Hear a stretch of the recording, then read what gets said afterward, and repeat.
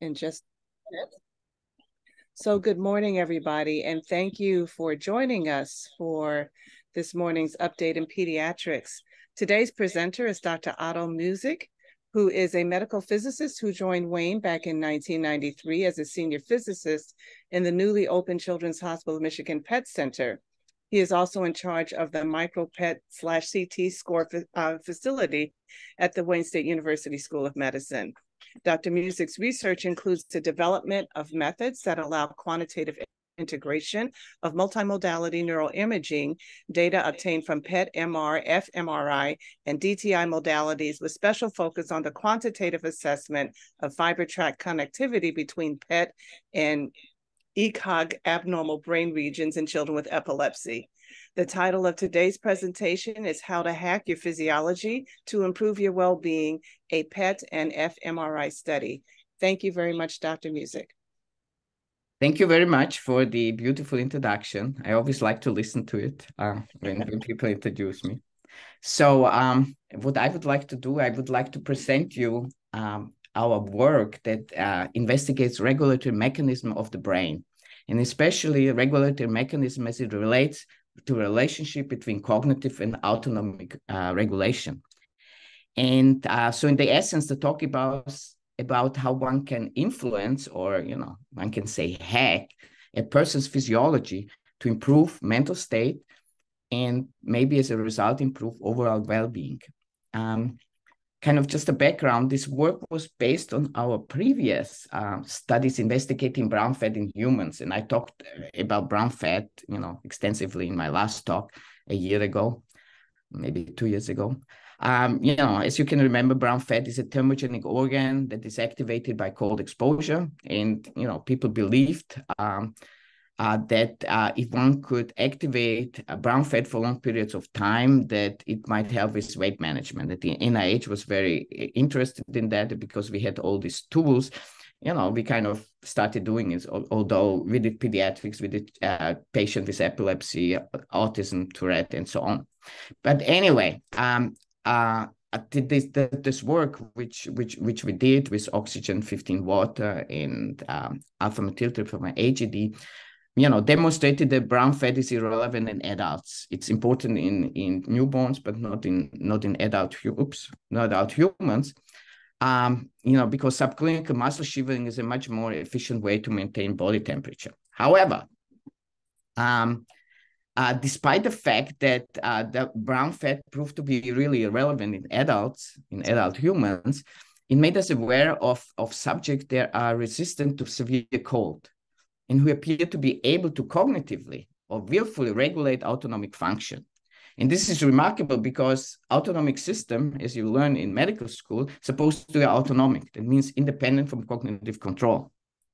So there is, uh, for example, there is this Dutch national. You can see him. Uh, his name is Wim Hof, um, who who can perform outstanding feats of severe cold resistance.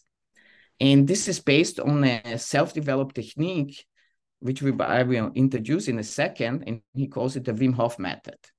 And um, especially because I see um, Tesh there, this is a very, very much based on um, uh, techniques that were practiced by Tibetan and Buddhist monks, monks for, for millennia. So uh, as you can see here, Wim is here in, in, in this, this cold and he can sit there really for hours without really um, getting frostbites or or um, you know uh, a decrease in body temperature.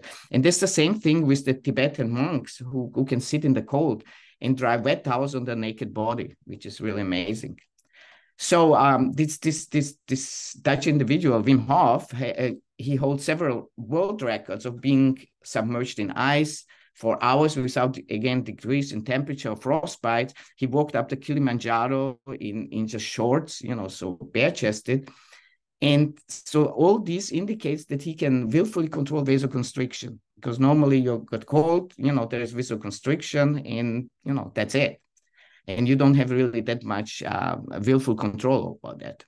But not only this, uh, he kind of presents this, you know, kind of control of vasoconstriction, kind of a side effect. What he's really uh, driving at is that he can control other autonomic function, um, for example, innate immune response. And um, and indeed, um, you know, that was in 2012, 2014, a series of paper by Cox et al. These are immunologists from uh, Radboud University in Nijmegen, who showed that uh, profound effects of behavioral intervention, or this Wim Hof method, on immune function. And so this, this uh, Cox et al., they performed two studies, one with Wim Hof in 2012, and then another with uh, volunteers or controls who learned the Wim Hof method in 2014. Um, and they, they applied a experimental endotoxemia paradigm, so essentially the injection of E. coli endotoxin. And the result of these studies were that uh, when these, you know, Wim Hof or these, these volunteers performed this, this method, um, really indeed inflammatory markers like TNF alpha, interleukin 6, interleukin uh, 8 were all decreased and anti-inflammatory markers like interleukin 10 were increased. And they, they concluded from the study that uh, that uh, voluntary suppression of the immune, innate immune response is possible and that is primarily mediated by increased epinephrine release. Um, so what is the Wim Hof method? Uh, the Wim Hof method, uh, as I mentioned, uh, borrows heavily from g-Tummo meditation, which, be, which has been a uh, Indo-Tibetan tradition for millennia, and which has been used to control body temperature. And this method consists of essentially three activities. Number one, forceful breathing number two, exposure to cold. And number three, mindful meditation. So the forceful breathing is, you know, there are several rounds of hyperventilation, so about 30 breaths, and then followed by breath retention. And what is really interesting is that when you do this hyperventilation, um, you know, you can hold your breath afterwards for a really long time, you know, two to three minutes. Usually you can do it maybe 20, 30 seconds. The second is exposure to cold. They, these people took ice baths for, you know, at least five minutes, maybe longer. And then kind of the mindful meditation, there are several versions on that, but mostly it's focus on bodily sensation. So awareness of breathing, of cold sensation, which is kind of easy because if you uh, have to breathe uh, voluntarily, you have to focus on breathing. If you are exposed to severe cold, you actually focus on the cold. So there is really not another way to do it. So what, how does it relate to what we did? Um, so we were kind of uh, very intrigued about this, um, and um, we contacted Wim, or somebody suggested to us that we contact Wim and see whether brown fat might play a role in this, this you know, astounding feeds and the resistance to cold exposure. And Wim, of you know, has a company. It's called Fire. They they promote this this method commercially. They are uh, very present on the internet. They have a large following, and he travels all over the world, really promoting you know PR, making PR for this uh, for his method. And he was very eager to come to Detroit, and uh, so we can kind of study him with fMRI and uh, PET imaging. So what we did, we studied Wim's brain with functional MRI and his body with, with a PET CT. Um, so the fMRI, we used the oscillatory cold neutral temperature paradigm, which we used previously, uh, you know, for the brown fat study. And this cold exposure, controlled cold exposure was um, was applied using cold water perfusion suit. You, you, can see this. This is a method we, we kind of pioneered um, the the where you can uh, apply cold exposure. You, you you can see here you have these tubes, and the tubes are in a reservoir. Can be a reservoir with you know ice cold slush and you know the neutral temperature, and then you have pump which pumps the this water through through the suit, and you can kind of measure the skin temperature and determine how how you know how the body reacts. What's the skin temperature? Um, and how then when you do fMRI, how the brain responds to the to the change in skin temperature. So in addition, uh, we studied uh, the bodily response to cold using PET-CT imaging. I'm a, yeah, I come from PET. Uh, using a norepinephrine agonist, um, that's uh, C11-HED or hydroxyephedrine. And this tracer provides a measure of sympathetic innervation by measuring the activity of the norepinephrine transporter. And um, you know how the images look like that activity in tissue of this HED tracer accumulates proportional to the amount of sympathetic innervation. And one can you know semi-quantitatively um, determine the the you know what is the sympathetic innervation. So what did we uh, um, kind of find? So first of all we quantified sympathetic innervation using this retention index, which you can see here, which is essentially a normalized tissue uptake. You can see here the activity of HED between 30 and 40 uh, minutes after injection divided by, by, the integral of the input function. So how much was offered to the tissue and, you know, then what is, what is the, what is the, um, the response?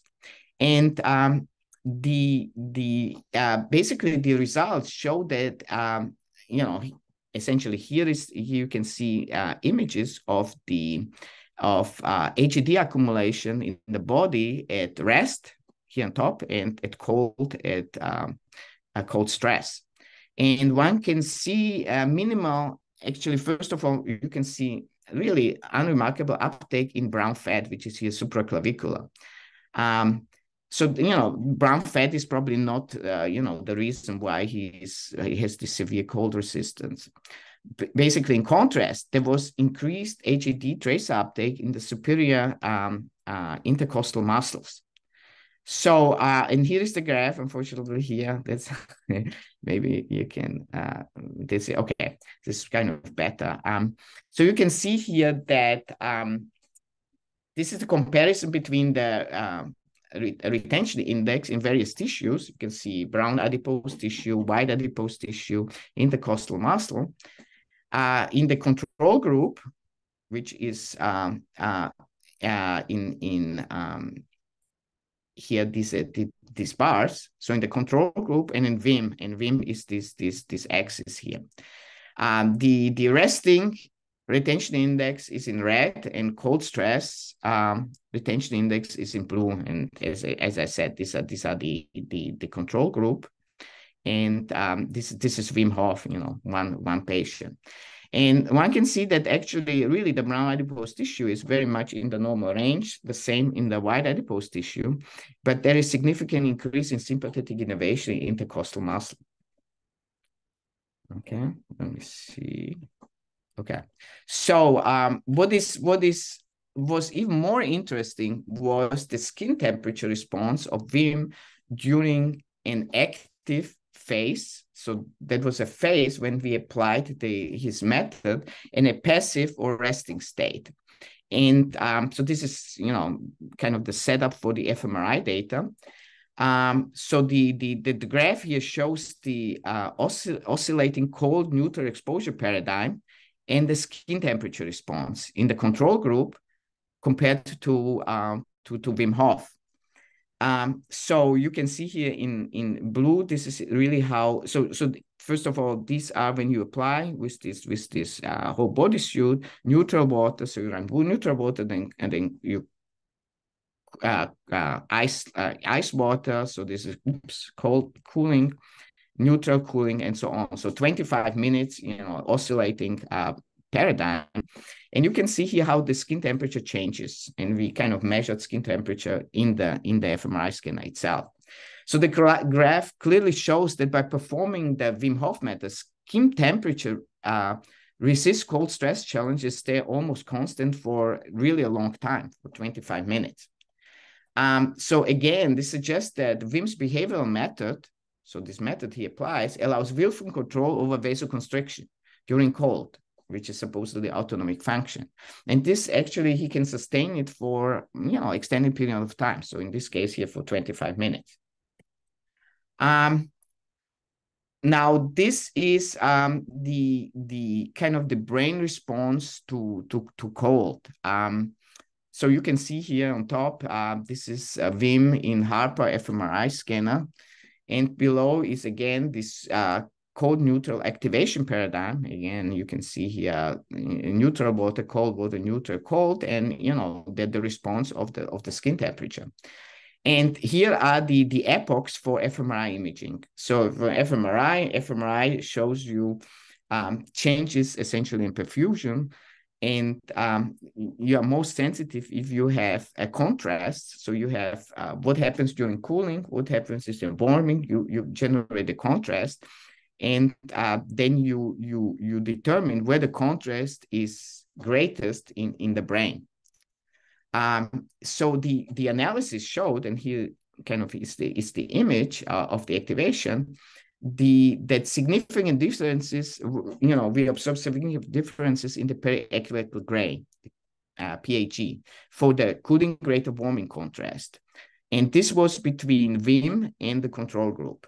So again, this finding suggests that activation of or the, how we interpreted it, that this suggests activation of the descending pain slash cold pathway in the periaqueductal gray um, you know, kind of a background, the, the periaqueductal gray receives input from the periphery via the spinal reticular pathway, and under certain circumstances, releases uh, cannabinoids that activate the descending projection, which affects neurons in the spinal cord, and that this can modulate uh, pain or cold sensation. Uh, this is here a summary of the fMRI results. Uh, we found that activation, in, so we find activation both in the periaqueductal gray and in the in the uh, left anterior insula. And um, basically, again, what this means, this is uh, um, significant voxel for the cooling rate of warming contrast between Wim and the controls. And you can see here on the right the time series. So this is the time series over the 25 minutes, you know, of, of the, this region, for example, here for the periaqueductal gray. Um, basically the, the, the, the time series for Wim is in red and the time series for the control group is in blue. And one can see significant great activation, both in positive, you know, here positive and negative, uh, direction for Wim during practice of, of his of his Wim Hof method as compared to the control groups. So what so let me summarize the, the, the findings and then we can discuss them. So here's a summary of the findings. You know, number one is that um, applying the Wim Hof method, there is still uh, there is a strong activation in the periaqueductal gray during cold exposure. And this might, and you know, this was a hypothesis, indicate the activation of stress-induced analgesia. That's number one. Number two is that activation of the left anterior insula, and we know that the especially the anterior insula is associated with interoception, and the right anterior insula is associated with sympathetic, and the the le uh, left is parasympathetic stimuli. And again, this kind of might, and it's always in fMRI that you have to interpret the data, this might indicate a better ability to maintain focus during uh, cold stress. Number three, um, the, the forceful respiration, this, this hyperventilation, uh, is might or is increasing the activity on intercostal muscle. And again, this might generate heat that dissipates to the lung tissue and warms the blood. And finally, you know, there is negligible activation of brown adipose tissue. So how can we explain the result? Uh, so what does this all mean? And uh, basically, let, let's let me put together uh, all this data and try to come up with a coherent story that might explain how this, this method might allow cognitive control over autonomic function. And it's basically, you know, a paper which, which we proposed and which was actually well received. So you know, number one is the, the breathing issue.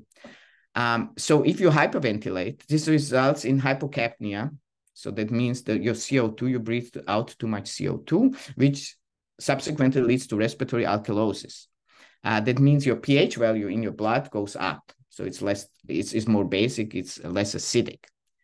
Um, so this this kind of leads to various body sensations so paresthesis various body sensations such as tingling in the fingers lightheadedness and the lightheadedness is due to first of all vasoconstriction of brain vessels and also uh, if you increase um, um, basically pH value, oxygen gets tighter bound to, to hemoglobin. So it's a low ex oxygen extraction. And that's the reason why, you know, kind of the the when people hyperventilate, you know, um, then they tend to faint. Why is this? Because they don't get enough uh, oxygen to the brain. Now, so this is the first first step. So you, you generate respiratory alkalosis. Now, a breath retention, and now the breath retention is important because it normalizes the CO2 to O2 ratio. You stop breathing, so you don't breathe uh, in any oxygen. So oxygen uh, starts accumulating, and you decrease oxygen saturation. And really this astounding and you know the study was done by cox that these, these people decrease oxygen saturation to less than 80% which you know in, in normal clinic is a disaster but in this case because you you had this hyperventilation first it's okay because you, you really have too much oxygen in uh, in the first place or the your, relation between co2 and o2 is, is significantly changed but you know once you have a decrease in oxygen saturation this simulates asphyxia asphyxia and leads to a general stress response. So the brainstem picks that up, you know, this low oxygen saturation and thinks you are you're suffocating. And now what happens is now you uh, you know, do the cold, to the cold exposure. So this basically the the the initial um, you know asphyxia uh, primes the system and the subsequent stress which is cold in this case, triggers this, the stress-induced analgesia. And this is most likely through, through cannabinoid release in the periaqueductal gray. And as a result of this, and the cold and pain sensation is decreased. So finally, and this is kind of an important point which, which is often overlooked, all these changes in your body, so tingling, lightheadedness, cold tolerance, generate an expectation uh, which leads to a positive prediction bias, a strong belief in the method, which actually turns out to be very important um, to, to prolong whatever happens with, with the physiologic parameters. So, um, so let's let's uh, frame these results in a little bit more general context um, because we really don't want to just kind of understand Wim Hof. We want understand the general idea how you can really use um, different um, uh, methods to um, to to influence your your supposedly autonomic uh, uh, nervous system. So there are several points that stand out. Um, you know, from from the, from the previous results I presented you. The first one is the contribution of breathing. Second is cannabinoid release, probably you know in the whole brain, but especially in the in the brainstem. And then this positive expectation, which um, you know is in normally uh, called placebo effect, and people don't believe it, although it's a real effect. So let's look at each of these contributions uh, um, in, in more details. Uh, so first of all, let's look at the breathing. Uh, there, uh, there is recent literature. You can see here this paper from Herrero from 2018 that investigates the role of breathing apart from oxygen delivery to the lungs. Um, and what what breathing, uh, vol volitional breathing does, it synchronizes the local field potential (LFP) with volitional breathing. And you know, Herrero and you know co-investigators showed that volitional breathing increased the coherence between breathing rate and the local field potential which has large effects for for different neural networks because different neural networks are now synchronized. And this uh, happens especially in the interoceptive network, which is uh, anterior insula, um, basically anterior cingulate cortex and insula in general, but most most predominantly anterior insula. So what this paper actually showed, and there are several other papers uh, along the same lines, that volitional breathing increases the alpha frequency component in the local field potential. And we know this uh, the, the alpha and this actually happens most prominently in this interoceptive network, as I said, in anterior cingulate and uh, anterior insula. And we know that you know if you decrease uh, your your brain waves, so from beta to to alpha to theta to delta, it is a calming effect. Uh, so this is probably responsible for the calming effect of volitional breathing, and that's why when you're upset, people say, "Well, just just breathe," because you know you're synchronizing kind of the, the breath with your local field potential, and that actually increases the alpha component, calms you down. Uh, the, the second part is uh, the, the role of cannabinoids in the, in the whole story. So the cannabinoids, um, uh, especially the cannabinoid type 1 receptor, the CB1 receptor, are widely distributed in the brain and act uh, through retrograde signaling. So that means usually the the the, the signal uh, propagates from the presynaptic to the postsynaptic uh, neuron. But here is exactly the opposite, from the postsynaptic to the pre- prosynaptic um, um, um, neuron. And so the, these, these cannabinoid receptors provide a negative feedback mechanism that dampens excess activity by blocking neurotransmitter release in the synaptic cleft. So you can see here, here that uh, on demand, if the, the calcium uh, level increase in the postsynaptic synapse, that activates this lipase, DAGL alpha, which uh, splices out um, from, from the bilayer uh, membrane on demand you know, oops, endo, endo, endocannabinoids like 2-AG and anandamide, which move then to the presynaptic mem membrane and block uh, release of uh, various neurotransmitters from the, you know, from the vesicles. So as, as a result of this, CB1 receptors modulate neural networks and, and among others, you know, regulate the stress response and through this, and there's a lot of literature about maintain network homeostasis. So as such, they tend to have an anxiolytic effect because every excess activity is, is, is, is decreased. So again, let's look at the literature. Um, you know, there is there are several several papers which which describe this, and um, you know, so consistent with the negative feedback function uh, there is this literature that describes the importance in endocannabinoid signaling in maintaining emotional homeostasis. And in addition to many other functions, guarding against fear, uh, anxiety, and stress. So uh, cannabinoid signaling is a really important part through the negative feedback mechanism. So the final part is the role of expectation. And uh, so the expectation generate positive prediction bias and this positive prediction bias is you know many times called the placebo effect and uh, this positive expectation bias is essential in order to prolong the effects of both cannabinoid signaling stress hormone release like you know um, uh, norepinephrine and cortisol, which uh, they, they, these, these effects are relatively short-lived.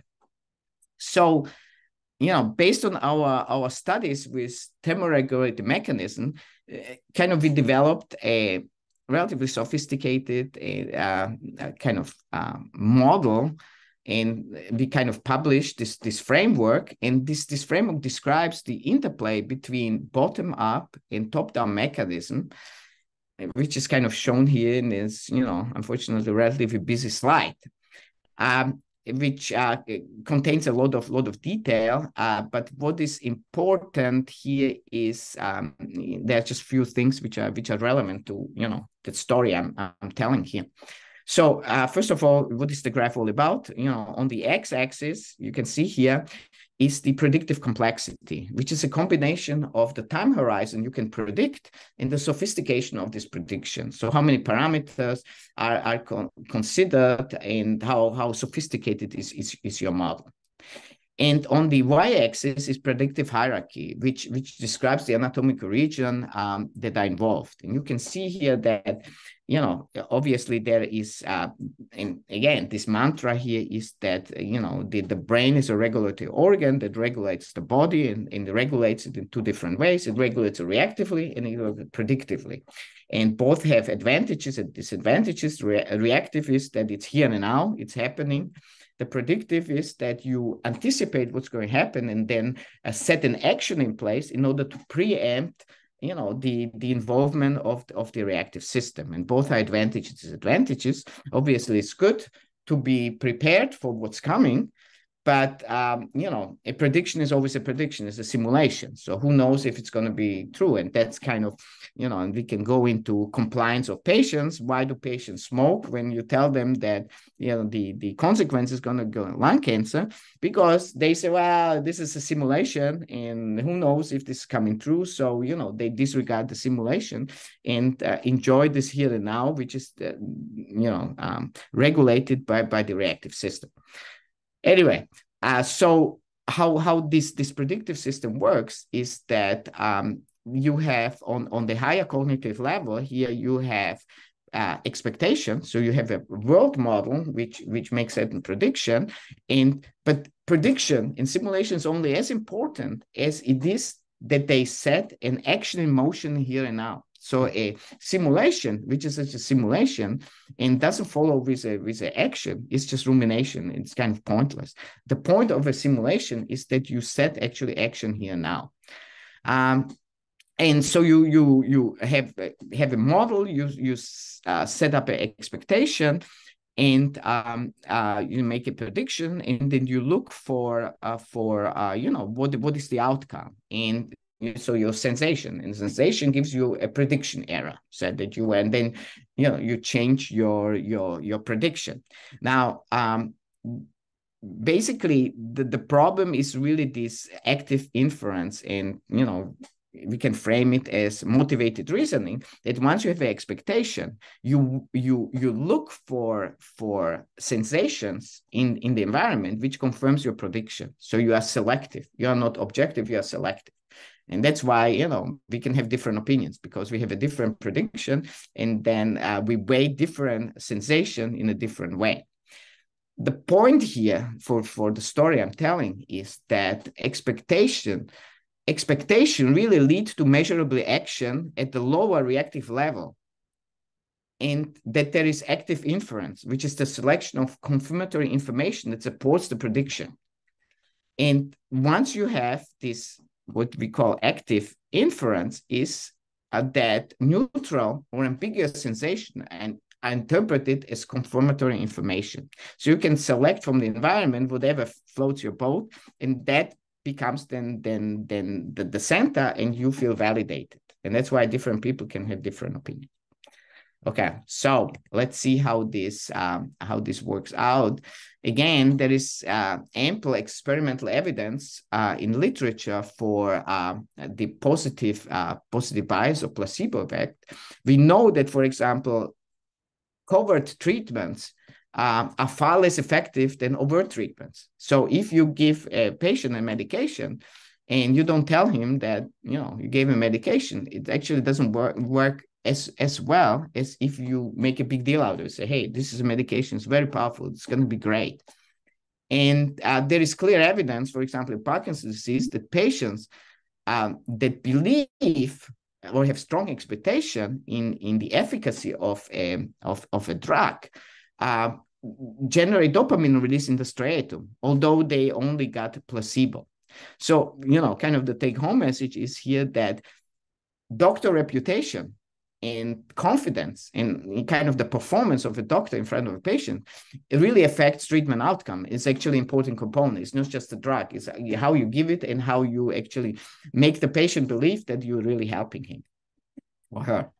So actually interestingly there was um, you know there was this this effect of positive bias on the outcome of behavior interaction was also noted in the original study by Kox you know, which was done 2012, 2014, uh, they published a follow-up paper in 2016, which is shown here, uh, uh, which uh, which showed that both epinephrine release, so epinephrine release obviously autonomic function, and interleukin 10 release, again immune function, was correlated with positive bias. So with optimism, as, as, they, as they called it here, optimism, you can see a positive correlation you know, in addition, you know, outcome expectancy was associated, correlated with outcome expectancy. So the, the, the, the, the approach of the patient, the belief, the strong belief, the positive bias, which he applies to a method is, is, is, is crucially, crucially important for, for, the, for the efficacy. So, um, so kind of these results confirm that the belief in the method, so the positive expectation bias, has a strong influence on neurotransmitter release in brain networks, and this affects then brain function. Okay, so um, so we followed this up with um, with another study where we actually um, uh, uh, took uh, five, and then actually we ended up with four young novice healthy males. You know, they were kind of very tight. Um, 25 plus minus 1.4 years. And um, uh, you know, performed this this uh, Wim Hof, taught them Wim Hof method, and tried to see what's going to happen with the cannabinoid uh, signaling in the brain and with functional MRI. So we did cannabinoid PET CT, both at uh, uh, at a thermal neutral condition. Um, and uh, we we we use the the fluor 18 labeled FMPEP2 tracer, which is an inverse CB1 receptor agonist. And again, we use the this uh, oscillating cold paradigm, which we kind of introduced before. And although we said normal people, we also kind of try to assess within the kind of the normal values, um, you know, whether you know some some indication of depression, which is still in the normal range uh, it takes place. So we kind of looked, uh, we gave him the Hamilton depression scale. And here you can see kind of the paradigm. So you have the baseline, you do the PET fMRI, you do the cannabinoid PET, the, the the basically uh, uh, oscillating cold neutral paradigm fMRI. Then they do this six week training. And that's why we, you know, only selected a relatively small number of subjects because it's, you know, it's very difficult to recruit people uh, to make a commitment to such a uh, long study. Um, and then, so they uh, basically there was initial instruction. Then they did uh, homework, daily breathing, coach hours, you know, mindfulness, awareness of their own body. Then every every Saturday we met again for a few hours. You know, went through the basically through the diary if they did it if there's problems if they are still motivated and so on. And then uh, after the six weeks we did again the uh, uh, you know pet and fmri the, the follow-up scans. So this is just basically the, the the behavioral intervention so you know we had weekly meetings on saturdays two hours. Uh, we we we kind of um, kind of paid uh, a Wim Hof certified instructor which kind of led the groups in this breathing exercise, focused attention, and cold exposure. And you can see here this is kind of how we did the cold exposure. Here is the forceful breathing and meditation. And as I said, you know, the, this this um, subject had to commit to, you know, exercise daily exercises of at least 10 minutes, this deep breathing, focused attention, and cold showers for at least two minutes. So what did we find out? And actually, that was really, you know, very inter- interesting. So here you can see this is um, CB1 receptor binding quantified using a volume of distribution. Um, uh, the volume of distribution is essentially the relationship between um, the, the, the activity of the tracer uh, in tissue relative to that of blood at dynamic equilibrium. So you inject the activity, you you kind of do the scan, you apply compartmental modeling, and you get this this uh, uh, rate constants K1 and K2, which you know the ratio K1 K2 gives you the volume of distribution, which gives you this relationship. So if volume of distribution is 24, for example, that means that uh, at dynamic equilibrium, once every, every, everything equilibrated, you know, there is 24 times more tracer in tissue than in, in, in blood so you can see here again, these are, these are the four subjects.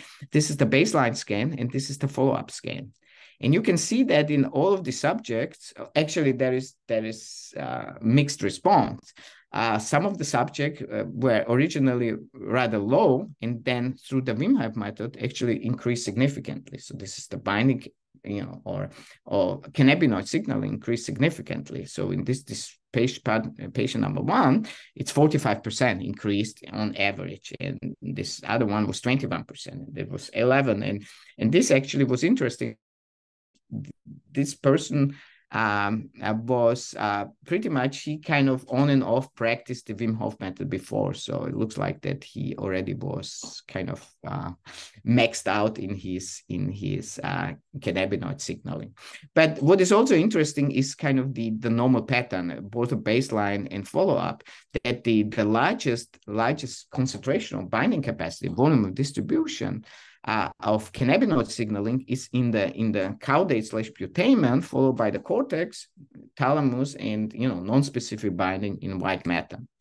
And this is now you can you know do a lot of uh, image processing. You can um, you can uh, now spatially normalize all these images. We had MRI, so we took structural MRI, we, we normalized it to the Talairach atlas. Then you can apply the same parameters to, to the PET, and then you can kind of average because now they are in standard space. And again, if you look at the parametric images, um, here you can see the, the, the kind of the normalized images, the average over the four patient post-intervention, pre-intervention. And this is kind of the difference, uh, the post versus pre. We can see that, you know, there's something, you know, in on in, in general about 20% in in the in, in the cortex. Um, so uh, so we we detected increased um, uh, cannabinoid signal, but what was interesting that um, you know basically the greatest greatest increase was really in the brainstem, in the periaqueductal gray and the pons. You know, these images previously, I kind of picked the the the cortex, but really the pons was was really high. What was actually even more interesting is that as I say, we we applied the Hamilton depression score uh, to this this normal patients and all their depression scores. So the, the scale is uh, from zero to like 60 or 70. The higher the value, the more, you know, depressed symptoms you have and you know uh, values between zero and seven are considered normal. It's kind of the, the background. And it was interesting that uh, there was improvement. Improvement in Hamilton D score again is within the, this normal range. And it was it highly correlated with the with the kind of improvement in cannabinoid signaling. So you can see here that this patient which is the the 45 percent had the improvement of three in the in the uh, hamilton d score so it kind of correlates that you know you increase the the uh, cannabinoid signaling. And because you know our our theory that is a safety mechanism is a is is a negative feedback is it it it improves your stress buffering role. So now you are uh, less less anxious and less less worried. Again there was effect uh, on in fMRI again you can see here these four patients uh, the and here are the the epochs. So there's the warming epochs cooling epochs. Again we, we made the contrast between cooling and warming. And we can we can again you know, it's a four patients, so this is really preliminary data, and we need to really right now grants and um, use this preliminary data and, and follow this up with a larger larger population. But again, we found really in the orbitofrontal cortex, which um, determines context-specific value assignment, and um, in the um, um really the anterior, you know, insula, which is interoceptive and the that was bilateral. But what was actually even more interesting was the functional connectivity. And you know, once you have fMRI and you have the the time series of different regions, what you can do is you can you can see you can kind of determine the time series of each region and now see if one region predicts the other region so you know a coherence between the regions and based on the, the amount of how one region can predict the kind of the, the, the time course of the other region, you can say, well, they are connected. So there is, we call it functional connectivity. And it was interesting that if you set up this matrix, uh, you find um, uh, really a, a, relatively high functional connectivity between executive regions, which is here the dorsolateral prefrontal cortex and frontal pole, and um, in the insula and subcortical regions. And interest, so you can see here, uh, right posterior insula, right dorsal anterior insula, uh, right anterior insula. But not the left. Actually, this was interesting. And that's actually worthwhile to following up why it's the right. And the right, as I say, its interoception is, is related to, to the sympathetic innervation. Um, so this kind of uh, tells us that there probably by the increase in cannabinoid signaling, uh, the, the executive con- executive uh, uh, central executive network is, is a larger uh, effect on on subcortical so interoceptive and subcortical region actually limbic region like the the amygdala and hippocampus. So uh, again this is a hypothesis and this needs to be you know worked out further. Uh, we believe that what it actually shows shows us that on the symbolic level, and again, one can you know kind of uh, conceptually describe the brain as in in a reactive, uh, which is here and now, and a predictive part, and and a symbolic and non-symbolic part. So symbolic part is if you if you generate a symbol. So you, you are cold and then you generate a symbol of cold or pain or hunger. And kind of which you can then use in a simulation which is amazing about the symbolic representation which actually happens in the anterior insula is that uh, you can you know operationally use now the symbol like hunger or pain or cold although you don't you are not hungry you, you don't have pain and you are not cold so it's com completely separate now from, from, from the perception or sensation of, of cold. Anyway, so um, basically the silence salience network is mostly this here and now that you have you know you feel your body you you're aware of your body you know what's happening. The default mode network is the daydreaming that you kind of go through your so your episodic memory what happened yesterday or last year and how this is projected in, in, into the future. And the executive network is is is you know essentially dorsolateral prefrontal and the the uh, superior parietal uh, cortex, which um, kind of monitors the relationship between all these other networks. So if you kind of you know you, so you catch yourself in in in daydreaming say oh what i'm doing yeah, i'm daydreaming that's the executive network which the thing because before you were in the default mode network and uh, so what we believe is that um, this this this um, this uh, kind of frequent switching or improving in cannabinoid signaling uh, lets you get away from the formal network, from from this from this uh, projection, the simulation that bad things are going to happen, and people get uh, riled up about you know bad things going on. That you can switch back to the salience network, so you prevent a runaway mode. So kind of the, the, the bottom line, uh, second to last slide, what does the, how can we explain Wim Hof method or any other of these behavioral intervention methods, which, um, which kind of people promote, you know, there's a lot of, you know, mindfulness and meditation and here and that. It's based on controlled stress and, uh, and mindfulness. So if you perform controlled stress and um, uh, we call it hormetic stress which is controlled stress. So it can be cold, it can be fasting, intermittent fasting, can be exercise, it can be hot, it can be sauna. So what does it mean? It uh, focuses the body on this here and now. You are cold, you are hot, you, you feel pain, you exercise, you need to uh, volitional breathing. You have to focus on the here and now. There is no way that you can be in the default mode network because that's not the time to you know uh, worry about what's happening. You are worried about here and now. And um, so you you kind of exercise the switch between the mode network and the salience network, so being a here and now, and um, it, it improves also, and this is associated with, with it's an increase in cannabinoid signaling. So this this negative feedback, which gives you, and again, you you disconnect from from a worrisome prediction, gives you a better mental state. That's on one side the, the other side is, uh, you know, improvement in physiological recovery. So if you expose your body to controlled stress, uh, uh, frequently, your sympathetic nervous system or your recovery system becomes better and better to you know recovery. That's basically what what exercise is all about. You know, at the beginning, you you you you kind of exercise and you you are sore because there is you know muscle damage and it can rebuild. And after you do this for a while, you don't feel it because your recovery mechanism become more and more efficient.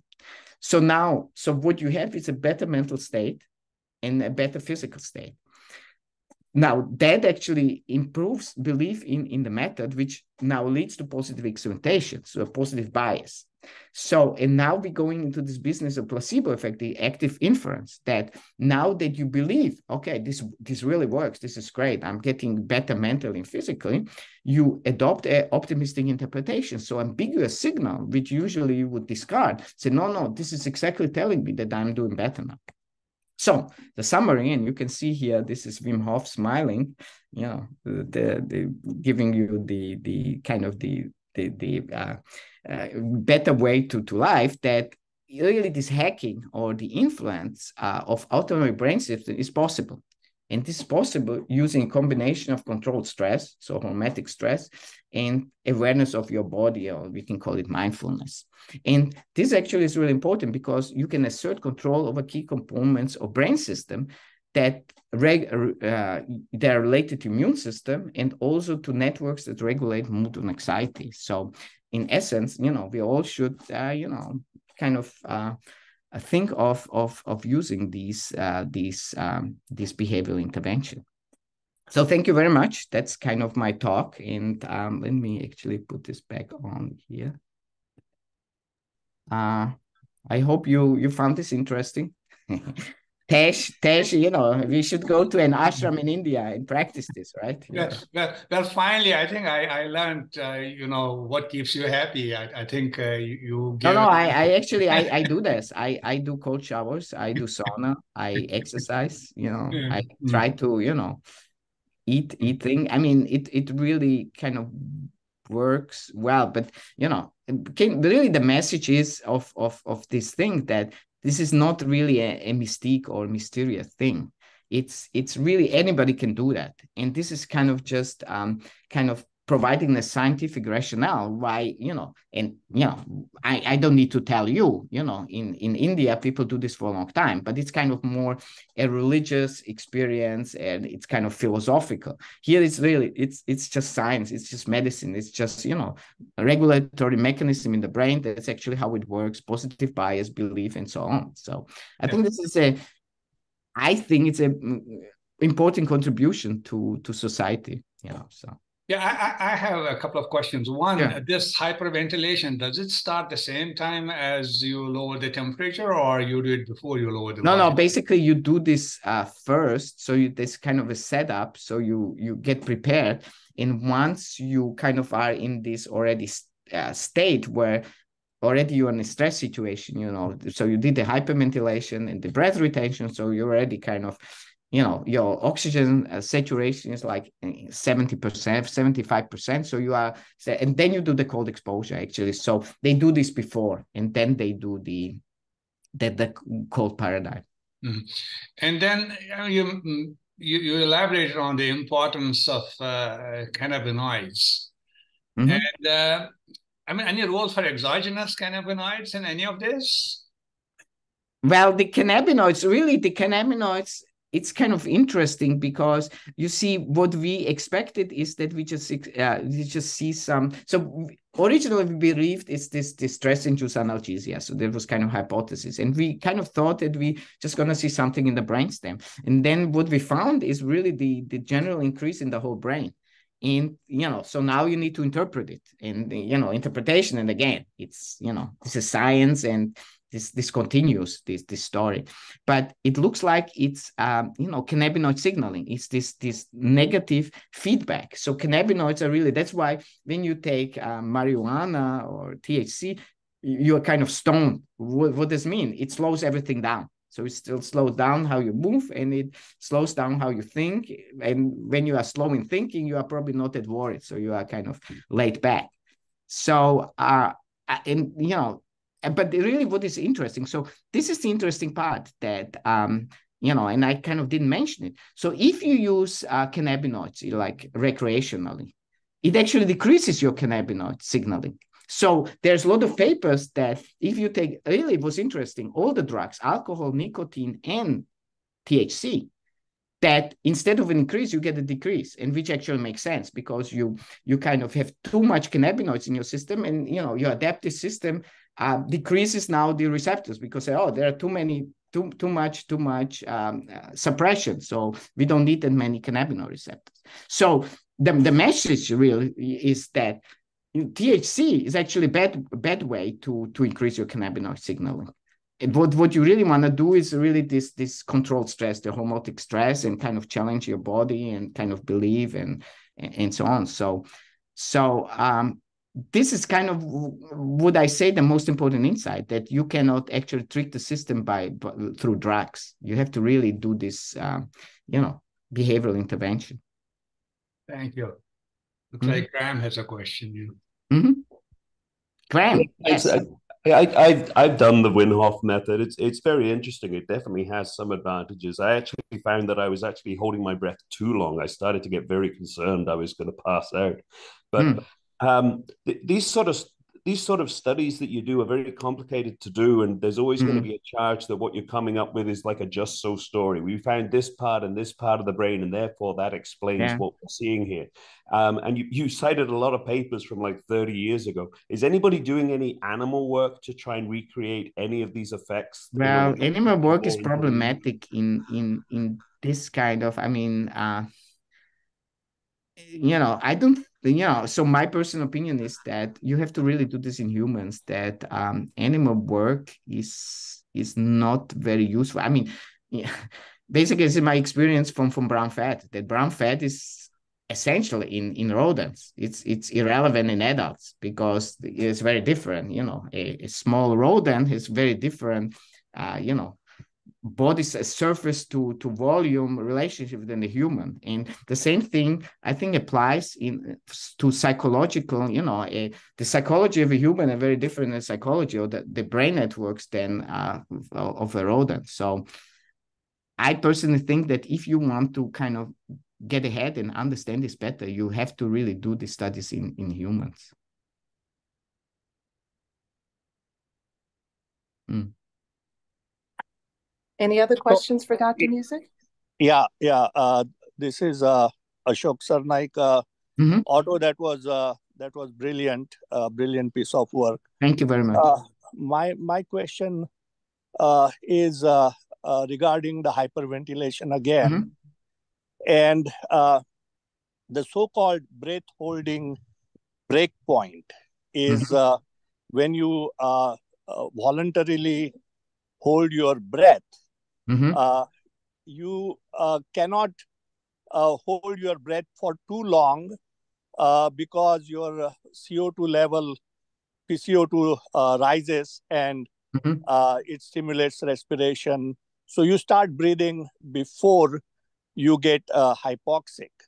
Now, when you have a preceding hyperventilation, mm-hmm. you have brought your PCO2 down so much, and then you practice your uh, breath holding breaking point, you you last much longer because mm-hmm. it takes a while yeah. for the PCO2 to build up and stimulate your respiration. So this kind of a practice uh, was uh, was uh, was observed in uh, underwater swimming, mm-hmm. Uh, underwater swimmers uh, who could hold their breath underwater for much longer if they hyperventilated mm-hmm. first. However, uh, there were several instances where the swimmers, even the expert swimmers, they uh, uh, underwater they just uh, lose their consciousness hmm. and uh, they actually uh, can die of hmm. hypoxia because uh, this is simply because their PCO2 doesn't rise uh, enough mm. and they get uh, unconscious because of hypoxia. Now, this Wim Hof method and hyperventilation, uh, that is uh, in a observed situation. But if someone practices this, isn't there some kind of a risk of having mm-hmm. apnea Actually, there uh, is there is definitely risk. Yeah, you're absolutely right. And you see, this uh, Wim Hof was criticized from from a lot of people that you know it's unsafe, and he always said, "Well, you need to kind of um, first learn it from from an instructor or from myself."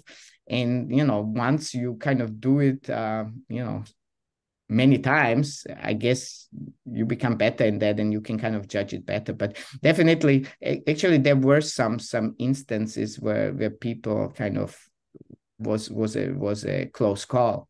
So but you know you know people i mean i'm sure this is kind of this breath and it's kind of interesting with with breathing because breathing has so it has a lot of other other other purposes in in a human than just getting oxygen into the lungs you know the, this kind of coherence of the networks plus the the the uh, kind of focusing. If you so when you breathe you have to evolutional breathing you have to focus on your body. And that's actually kind of disconnects you from from rumination.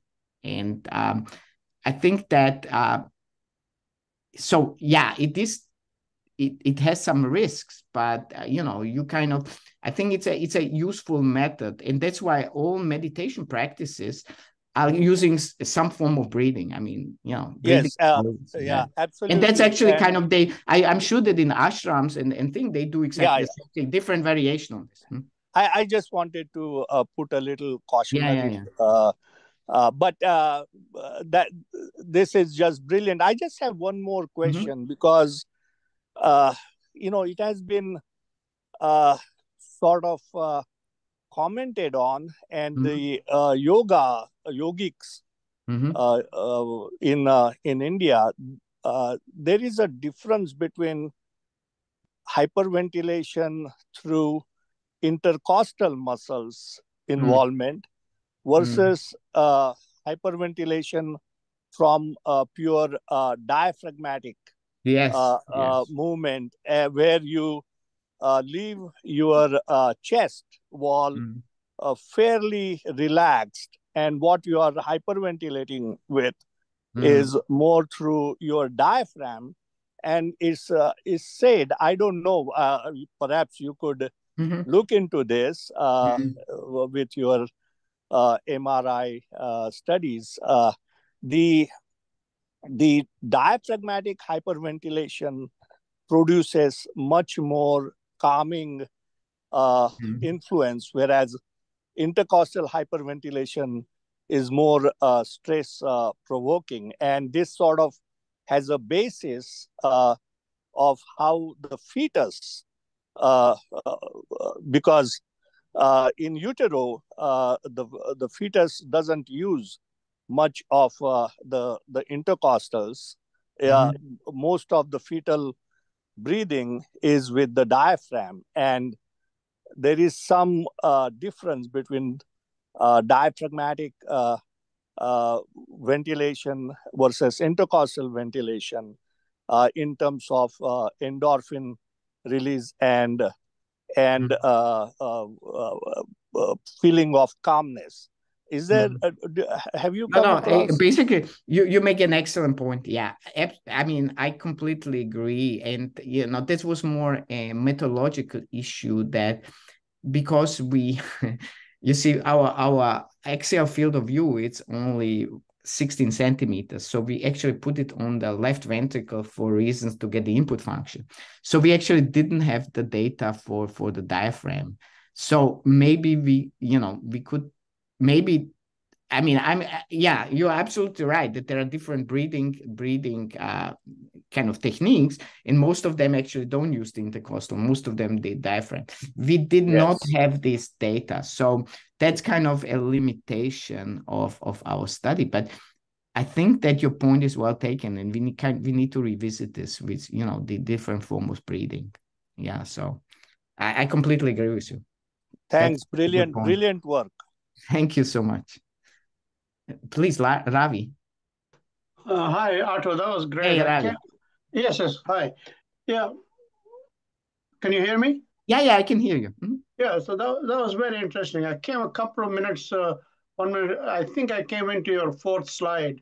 But anyway, uh, I, I, got the picture. So I was going to ask you uh, your comments about the relationship with innate immune response mm -hmm. and uh, did you do any measurements and um, of any cytokines or actually changes in monocyte populations uh, with the uh, uh before and after uh, this type of intervention? Yeah, yeah, we we actually did not do that. I, I, you know, basically, um, the we kind of relied on the immunologists or we relied on the paper from, from Kox and you know basically he they looked a lot of cytokines and they thought that the, the biggest difference was this interleukin 6 8 10 and you know tnf alpha and epinephrine increase but uh, really it's kind of you know the whole story with this suppression of immune response. And actually, people ask me this,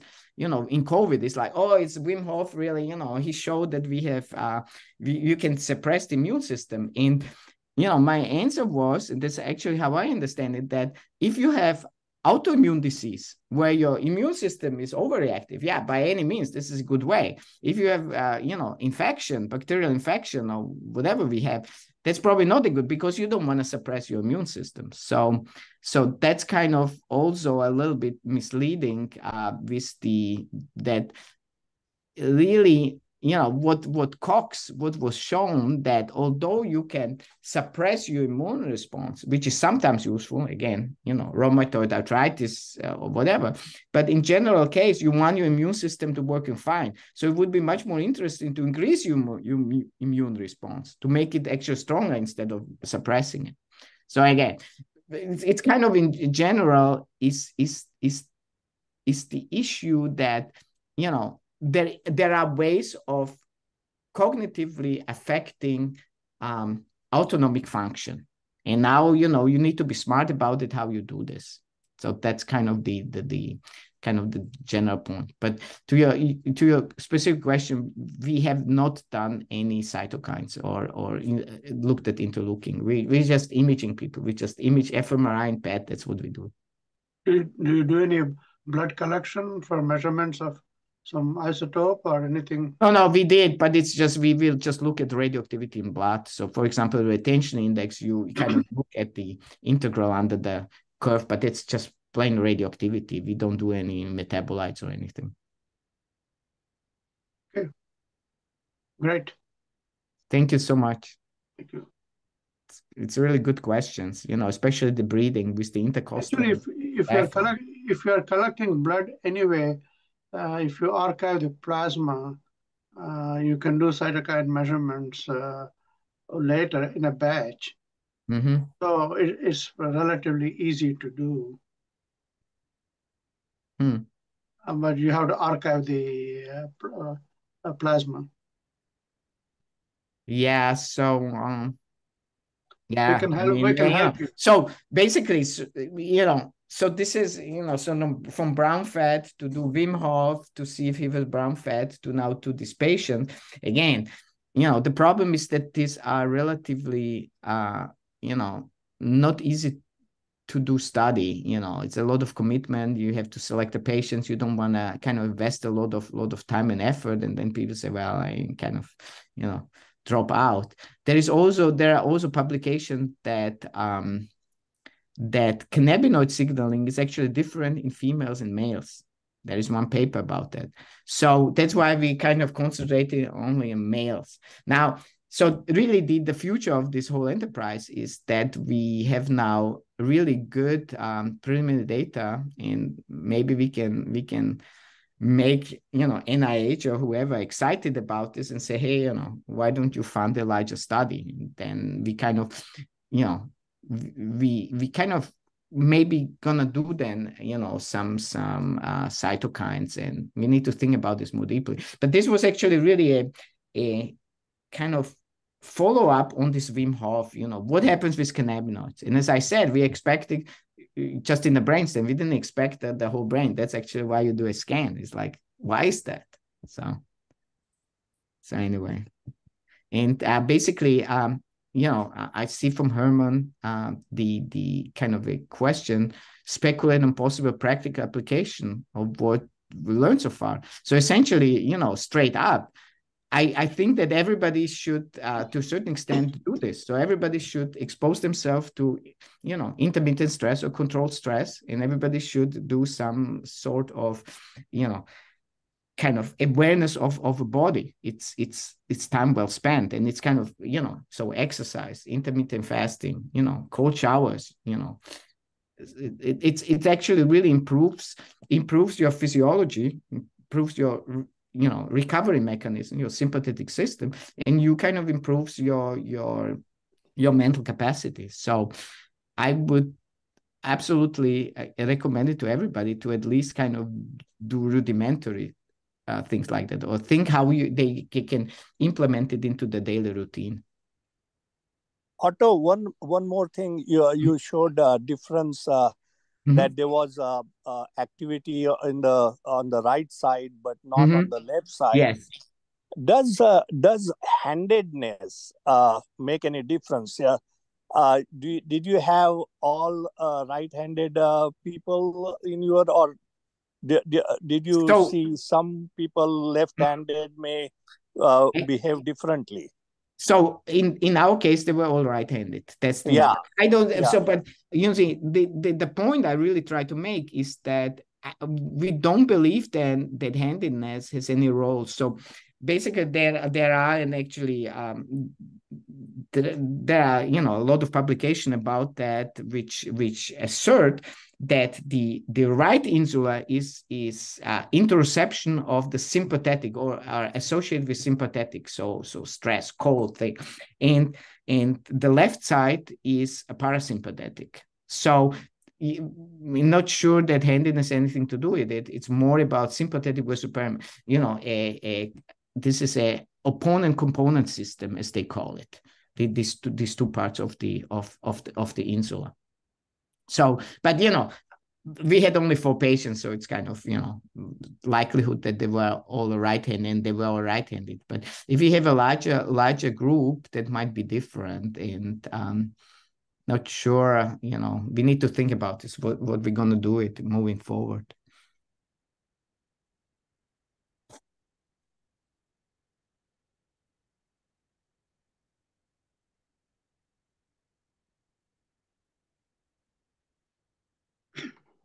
Okay. Any other questions? Everybody, everybody should be should be doing some form of this this behavioral intervention. It's it's really beneficial. And actually, I think what is what is even more important in you know for for pediatrics is I think that that uh, positive positive bias or expectation are important. So, you know, really kind of this this active inference is is really important that if you perform for the patients if you tell them this is a really powerful and you know impress the patient you know the the effect is much better than if the patient kind of you know is on the on the fence about this. So uh you know kind of performance of, of the doctor in front of the patient and kind of convince him and and and kind of generating strong belief in that this is going to really help him. It's it's very essential for for you know for, for the business at hand. So you know because people always say oh you know this is kind of a psychological mumbo jumbo and you know doesn't doesn't mean anything. It's it's really important. And and really i think that what is important that you know simulation or prediction are really really have really effect they have really measurable effects and for a good reason. Because if you have a prediction and doesn't actually lead into any actions or release of, of neurotransmitters at, at here and now the whole point it's it's kind of useless. Why would evolution start as if if it doesn't have any effect on on the lower lower levels? So it actually makes perfect sense why and you know americans are all about positive thinking is it's it's really a good way to to kind of um, affect your your your physiology. Thank you so much, Dr. Muzik, and thank you for presenting today. Thank you very much. Thank you for for all all for for people who gave really good questions. So you know i'll i'll maybe in a year when we have more data and hopefully get some money to do some larger studies i can update you on what what happened next. Thank you very much. Perfect. Thank you so much and thanks for everyone for attending. Okay. thank you. Uh let me see. Uh stop share. Oops sorry. Okay here we go. Okay. Thank you. Bye